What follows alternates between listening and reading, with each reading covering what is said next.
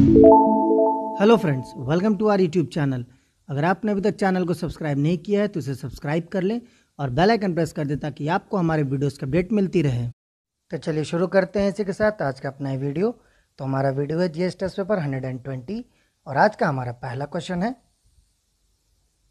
Consider the following statement regarding peasant movement of nineteen and twenty centuries उन्नीसवीं और बीसवीं शताब्दी में जो किसान मूवमेंट हुए थे मतलब पीजेंट का मतलब होता है किसान। तो जो मूवमेंट हुए थे उसके रिगार्डिंग तीन चार स्टेटमेंट है आपको बताना कौन सा सही है।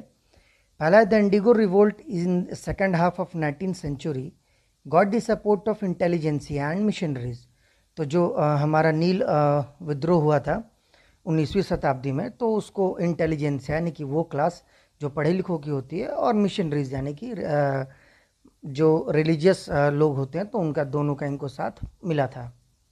Second is social boycott was an important feature of Deccan riots of 1875 यानी सोशल बाइकआउट एक इंपॉर्टेंट फीचर है, यानी कि एक मुख्य बिंदु है हमारे डेक्कन राइट का अठारह का। थर्ड है Mappila Muslim leader did not take any steps to protect Hindus from plunder and molestation यानी जो मपीला मुस्लिम लीडर थे, उन्होंने हिंदुओं के जो लूटपाट हो रहा था, हिंदुओं के साथ मॉलस्टेशन हो रहा था तो उसको रोकने के लिए उन्होंने कोई कदम नहीं उठाया था। फोर्थ है the Eka movement's meeting in the Oudh was marked by the religious rituals यानी जो एक्का मूवमेंट हुआ था मीटिंग हुई थी अवध में तो उसमें कुछ रिलीजियस रिचुअल्स भी हुए थे। तो आपको बताना इनमें से कौन सा स्टेटमेंट सही है? तो इसका सही आंसर है D one two and four यानी कि थर्ड वाला गलत है, बाकी तीन, तीनों सही हैं। थर्ड वाले में ऐसा कोई भी नहीं, ऐसा नहीं है कि उन्होंने स्टेप नहीं लिया था। उन्होंने स्टेप लिया था और जो लीडर थे, उनका नाम था कुनहमद हाजी। तो चलिए इसी के साथ बढ़ते हैं अपने अगले क्वेश्चन की तरफ़ question number two which of the following is the motto of supreme court of India आपको बताना सुप्रीम कोर्ट ऑफ़ इंडिया का मोटो क्या है? तो इसका सही आंसर है बी, यथो धर्म सथो Jaya where there is a righteousness there is a victory यानी सच्चाई की हमेशा जीत होती है। ये इनका जहाँ सच्चाई होगी, वहाँ जीत होगी तो ये इनका मोटो है सुप्रीम कोर्ट का। तो चलिए इसी के साथ बढ़ते हैं अपने अगले क्वेश्चन की तरफ़। Question number three. Consider the following statements related related to some prominent socio religious reformers of nineteen century India तो कुछ उन्नीसवीं शताब्दी के सोशल सोशो रिलीजियस रिफॉर्मर्स थे। उनके संदर्भ में तीन स्टेटमेंट है, आपको बताना कौन सा सही है। पहला है, Akshay Kumar, Dutt and Ishwar Chandra, Vidyasagar were agnostic. यानी कि दोनों लोग एग्नोस्टिक, यानी कि नास्तिक थे।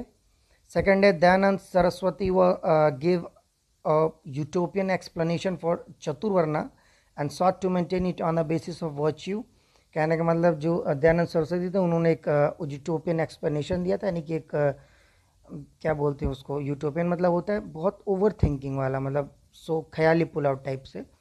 तो उस तरह का उन्होंने एक्सप्लेनेशन दिया था चतुर्वर्णा के बारे में और कहा था कि इसको मतलब सबको एक्सेप्ट करना चाहिए और ऐसे ही चलते रहना चाहिए। चौथा है Sahodaran Ayyappan give the call no religion no caste and no god for human beings एक सहोदरन अयप्पन थे उन्होंने ये एक आ, मतलब एक उन्होंने नारा दिया था। तो आपको बताना इनमें से कौन सा स्टेटमेंट सही है। तो इसका सही आंसर है B one two and three यानी कि तीनों ही स्टेटमेंट सही है। तो चलिए इसी के साथ बढ़ते हैं अपने अगले क्वेश्चन की तरफ़ question number four which of the following hydro electric project is constructed on the river Krishna यानी कृष्णा नदी के ऊपर, कौन सा हाइड्रो इलेक्ट्रिक पावर प्रोजेक्ट बना है, आपको बताना है।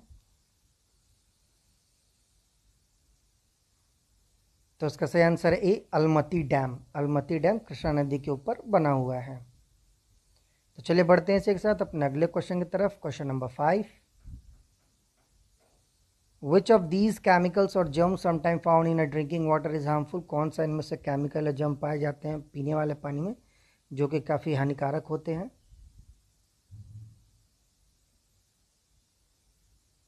तो इसका सही आंसर है D all of the above यानी ब्रोमेट ग्रिडिया और नाइट्रेट ये तीनों ही पाए जाते हैं और ये तीनों ही हानिकारक होते हैं मनुष्यों के लिए। तो चलिए इसी के साथ बढ़ते हैं अपने अगले क्वेश्चन की तरफ़। Question number six what is the name of portion of dam in contact with the ground at downstream side dam का उस हिस्से का उस हिस्से को क्या कहते हैं आपको बताना है, जो कि ज़मीन से जुड़ा हुआ था। तो इसका सही आंसर है डी, हील, वो हिस्सा जो ज़मीन से जुड़ा होता है डैम का तो उसे हील बोलते हैं। तो चलिए बढ़ते हैं इसी के साथ, अपने अगले क्वेश्चन की तरफ़, question number seven. As compare to water the boiling point of pesticides and insecticide is यानी अगर पानी के मुकाबले देखा जाए तो जो पेस्टिसाइड और इंसेक्टिसाइड होता है, उनके बॉइलिंग पॉइंट कैसी होती है, आपको बताना है।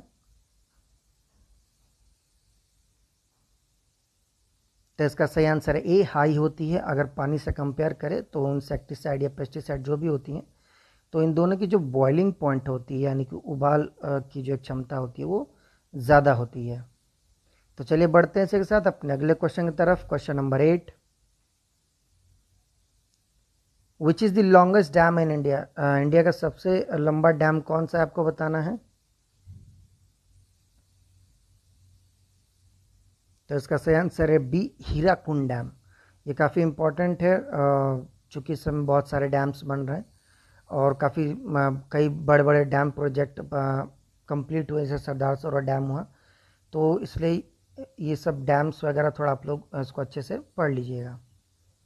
तो चलिए बढ़ते हैं इसके साथ अपने अगले क्वेश्चन की तरफ़। Question number nine based on the function of dam it can be classified into how many tag अगर हम डैम के फ़ंक्शन को देखें तो डैम कितने तरह से क्लासिफाइड इन कितने तरह में बांटा गया है, आपको बताना है।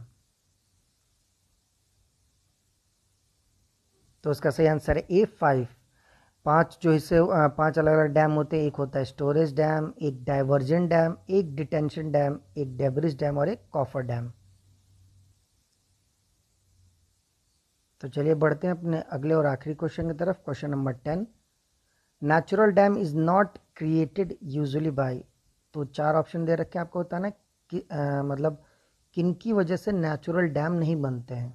दो तरह के डैम होते हैं एक नेचुरल एक मैन मेड नेचुरल यानी जनरली किसी हमारा इन्वायरमेंटल जो वर्क होता है मतलब इन्वायरमेंटल जो एक प्रोसेस होता है उस वजह से बनता है और जो आर्टिफिशियल जो हम मैन मेड बनाते हैं। तो चार हैं आपको बताना है कौन सा इनमें से नेचुरल डैम नहीं है? तो इसका सही आंसर है सी रिवर मियांडरिंग मियांडरिंग का मतलब जैसे सांप चलता है तो उसको मियांडरिंग मतलब उसको बोलते हैं। तो उसी तरह रिवर मियांडर करता है जब आ, किसी हिल से या निकलता है तो तो उसमें जो उसमें किसी तरह का नेचुरल डैम नहीं बनता है।